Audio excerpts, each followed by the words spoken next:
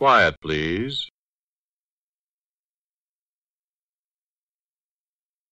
Quiet, please.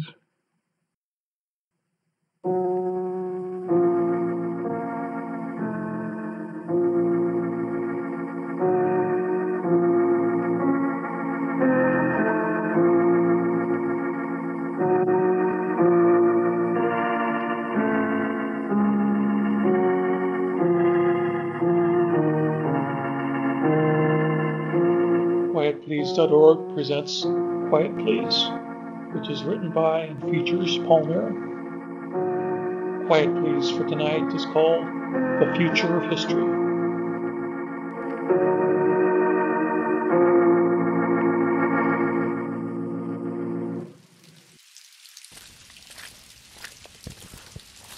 I'll bet you're wondering what this machine is and what it's doing in a cemetery. If you want to know about it, you'd better ask me. I built the thing. But it doesn't really matter how it works. Nobody will understand that anyway. It's enough to know that it does work. What is it? A time machine. It uses a quantum negative mass fluid, oscillating on a frequency that flips a single individual to another part of their personal timeline in a defined manner that brings- Nobody brings. cares, Reggie. Just sounds like a jumble of sciency words. And I suppose people care about what you have to say. Of course they do. I have the human story here, the emotional story people can relate to. And I'm the one who set the events in motion, who's setting events in motion. I'm just the man from 1985 who built the world's first time machine and took it 37 years into the future. Nothing interesting there. Glad we agree. Anyway, I always come out here to Union Cemetery on New Year's Day, even when it's raining like this. It's a gentle, peaceful place, an oasis of the past, almost outside time if you think about it. Below your feet, there's a 170 years of our neighbors, from the gold rush days onward. But you're not here for the 170 year old graves. No, I thought I'd find you here, Clifton. I know you don't approve, dear. This is my wife, Elizabeth. Just as well that she's here now, because she's really the center of this whole story. I don't want to be the center. I'd rather be a footnote. That's not your choice, dear. But shouldn't it be? Hold on. I think they're getting confused already. Let's get back to telling the story. Since I'm not interesting enough, Clifton was about to explain why he comes here on the 1st of January every year. I'm visiting a grave. My grave. He's visiting my grave. Except it's not actually here. It's just a patch of grass. But it will have been here for five years if I don't go back.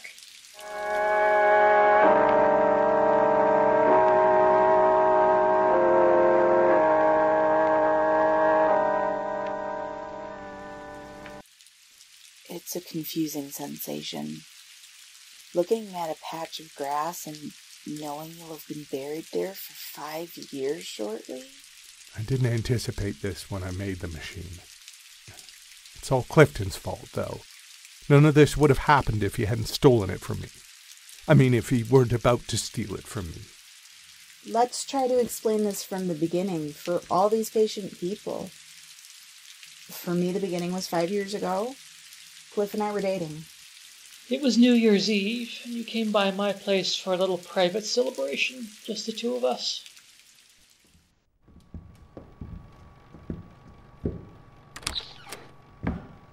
Elizabeth! You're here! You're really here! At last! It's real! Cliff, is something wrong? You're acting like you haven't seen me in years. You don't know how right you are! What what's wrong? Have you noticed I look different today? Older, more gray hair, new lines on my forehead. Look at me closely, Elizabeth. Oh honestly, Cliff, You look fine. Don't worry about it. We all have days where we look older. You see this little scar on my left palm? You've never noticed it before because it wasn't there when you saw me Tuesday. Well, I, uh, um, I must have forgotten it. What are you trying to tell me? I'm not the same man I was the last time we met. You're starting to scare me, Cliff. I've come from the future, five years in the future, to save your life. You. What? When you drive home tonight, right about 2 in the morning, when you're coming up out of the canyon on 193, there's an accident. Drunk driver. Your car spins and goes over the edge. They fish your body out of the river tomorrow afternoon. The worst day of my life. I've come back to make you stay tonight, so it doesn't happen. oh, honestly, you don't have to make up crazy stories to get me to stay the night. So, so you'll stay? Promise me. Please promise me. I promise. Thank God. That's the weight of the world off my shoulders.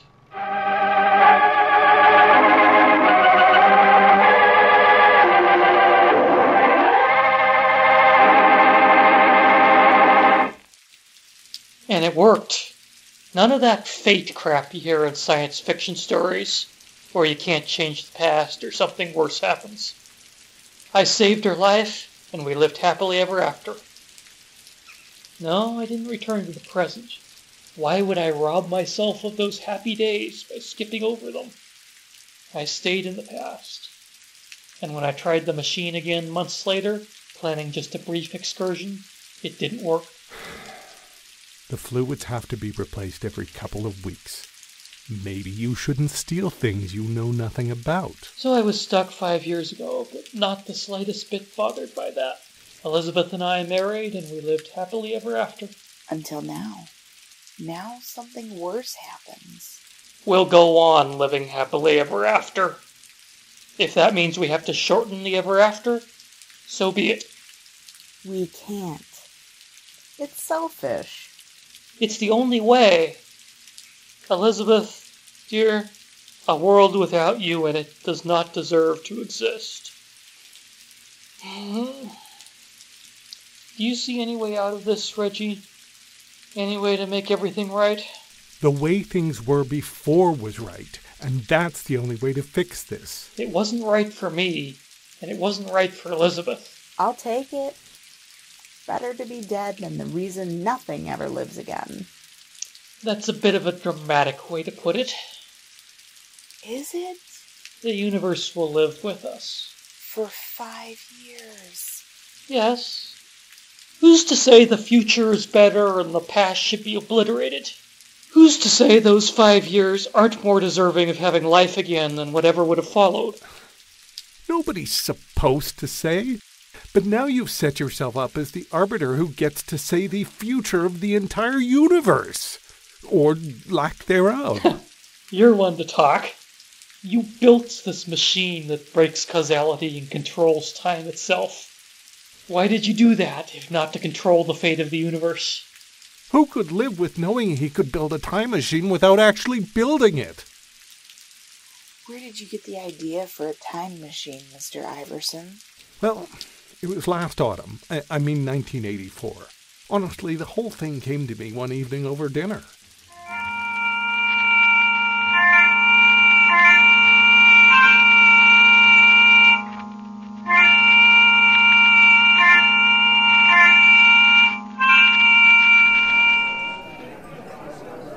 To dabble in a lot of fields, Reggie.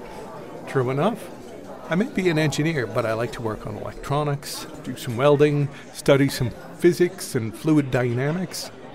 There's ideas that come to you when you dabble in a bunch of stuff that might never occur to you when you're more narrowly focused. How about you, Prisha? I stick pretty close to theoretical physics. There's plenty of room in there to be creative, to come up with thought experiments and explore related philosophical issues. Like time travel paradoxes? Sure. Impress me. How would you design a time machine? Well, I just think about the physics side of it. And from a physics point of view, I know this is a minority opinion, but I think it's possible as long as you remain within your own timeline, you could switch places with another version of yourself and it wouldn't violate any physical laws. Hmm. So you could go back or ahead in your own life, but no further. What sort of materials would you need? Theoretically, you'd need a negative mass with a density that can hold and store tachyons, and some sort of translation matrix enzyme. Yeah. Uh, maybe a tetrahydroxylate precipitate. Yeah, maybe. But how would you determine what date you would travel to? The machine could adjust relative fluid mixtures to determine the distance to travel along the operator's timeline. We have biological signatures of the passage of time. Theoretically, it's almost as easy as counting tree rings. You know, I think I can actually build this thing. Great, use it to jump ahead to when they bring us our food. We've been waiting forever.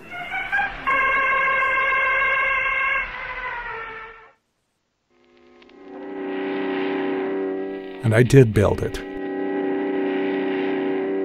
It took me eight months, but it was remarkably easy considering nobody had even imagined it was possible before my flash of insight.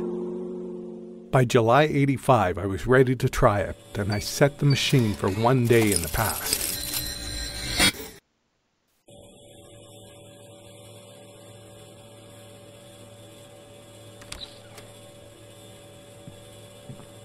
Mr. Iverson? But I just saw you in the other room. How did you get here? Jose, go fetch me and bring me to me. Excuse me, sir. Never mind. I'll get me myself. I'm not there. Oh, yeah. Prisha warned me that I'd be trading places. I can't meet myself. Shame that. It'd be nice to converse with someone on my level. Odd I don't remember going a day in the future, though. I take it you got the machine working then, sir. When are you from? Tomorrow. I'm from tomorrow. I wanted a short hop to test it out. Now I need to test a change. Some small, irrelevant change. You could rearrange the plants. I'll rearrange the plants. Jose, move that peace lily to the corner and put the spider plant on the cabinet.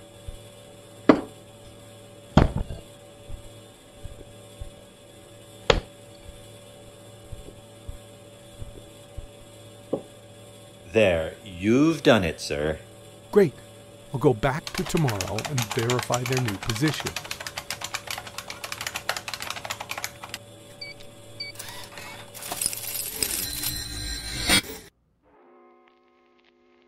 But when I got back, the peace lily was on the cabinet and the spider plant was in the corner. That threw me for a loop. I went back and tried it again. Same result. On the third trial, I stayed in yesterday for a full day. But when the moment arrived that I'd originally gone back in time, suddenly the plants reverted to their original positions. What do you mean, original positions, sir? Do you remember when I came back in time yesterday and had you move the plants? No. Uh, Is that really what you built a time machine for?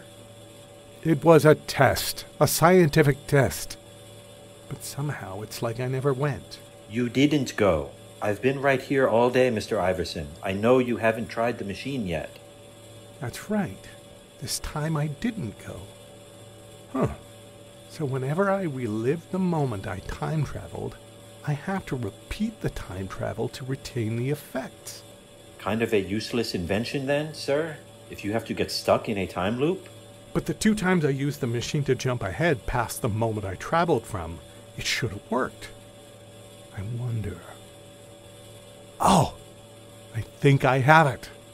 Both times I jumped back to the present, I switched places with a version of myself that wasn't motivated to come back and make the same change, because it had already been done.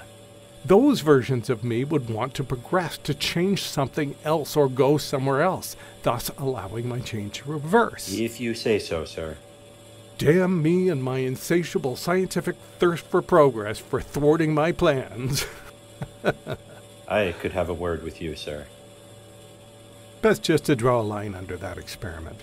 I've had enough of yesterday. I'm not going to waste my life revisiting it. It's time for a real trip. For the year 2022 now.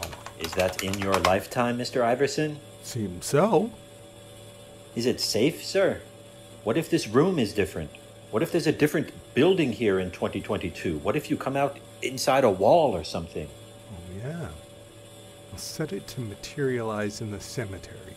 That'll never change. I should be back momentarily, Jose, no matter how long I spend in the future. But won't the other you be.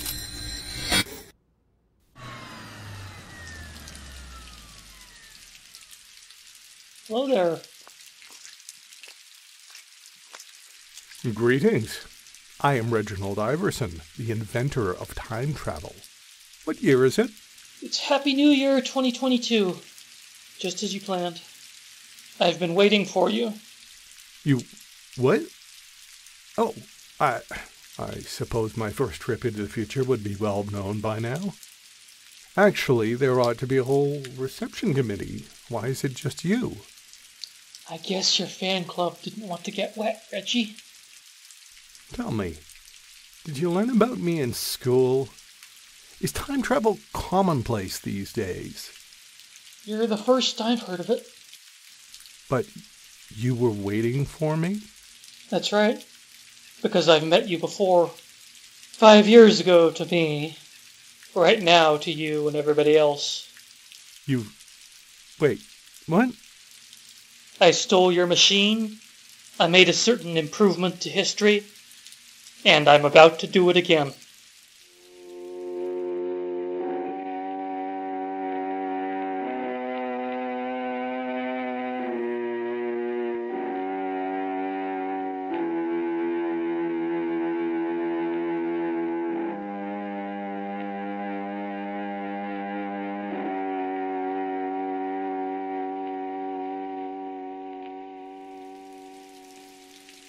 That brings you up to date. Does everyone understand where we're at now? They have questions. So do I. There's not much time, but I'll take one of yours, dear. Isn't this a separate timeline? Because you're already saying and doing different things than the last time Mr. Iverson arrived. So, how do you know I'll be dead in this timeline? This is more up Reggie's alley. It's a matter of the conservation of matter. The law of conservation of matter, energy to be precise. The universe doesn't surrender it easily, even with time travel. You can change who you are the second time, but there has to be only one of you at any given time. If Clifton doesn't go back, the old version of him he traded places with goes back and things play out as before. And there are no separate timelines, no alternate universes, just one convoluted timeline with some twists. Just where is that old version of me I switched places with, by the way? Tomorrow, if you'll let tomorrow come, There isn't going to be a tomorrow. Or anything past um, 70 seconds from now. We can't let you do this. You don't have the right. Stay back, all of you. I won't be aiming in the air next time. Oh, you wouldn't shoot me, Claire. I don't want to, Then step away from the machine. but if, if I have to kill you to save your life, I will. If I let you stop me, you'll have been dead for five years in a minute. I can't let that happen. I can't let our happiness be erased. Clifton, the entire universe is at stake here. Every creature in the whole damn universe is going to be trapped in an endless five year loop because you can't let go of a woman who is begging you to let her die. 30 seconds left.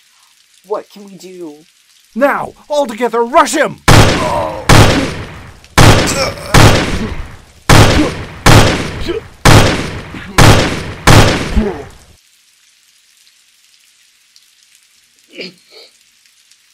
Have you ever read The Great Gatsby? I can't help but think of F. Scott Fitzgerald's famous closing line right now. So, we beat on, boats against the current, borne back ceaselessly into the past.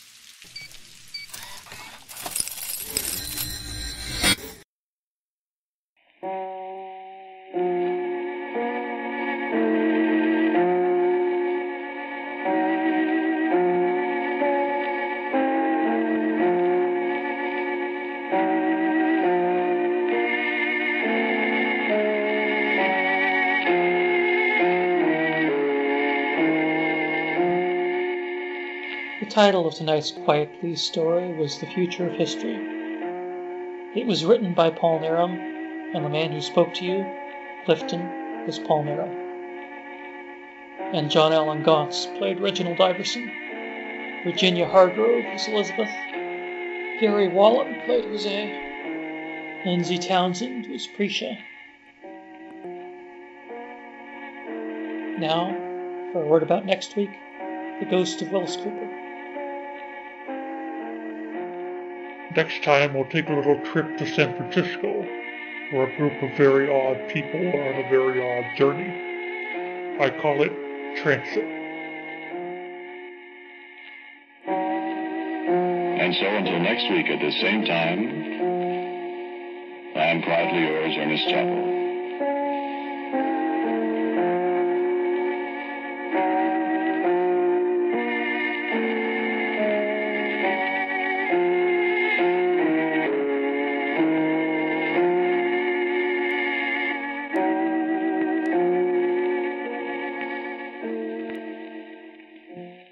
Find more original audio dramas at quietplease.org slash originals.